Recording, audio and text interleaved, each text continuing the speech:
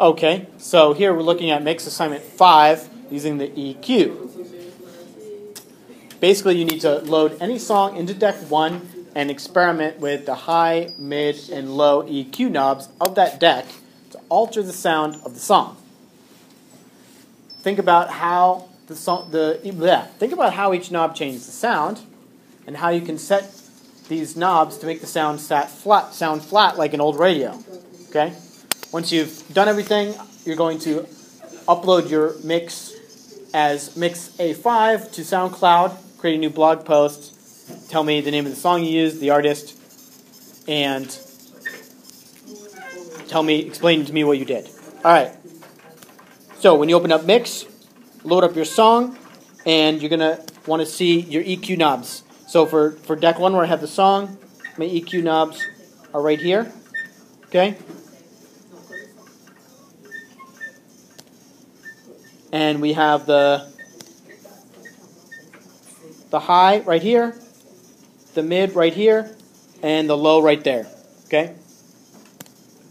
So, if I play my song without making any changes, it's going to sound like this.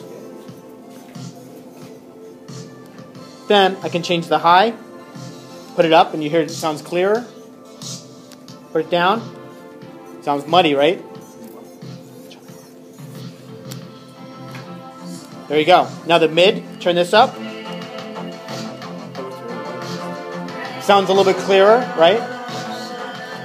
It amplifies quite a bit. Turn it down, and it feels like there's a lot missing. You're missing the middle here. Um, then we're going to turn down, turn up the low sounds. Now you should really be able to hear that bass coming through. Some other things get mixed in with there. Turn it down, bass disappears. And then you can do different combinations. You can turn down both the highs, have only the mid, right? You could, if you turn everything down, the sound disappears. So don't do that. Now you could have just the high, or you could have just the low.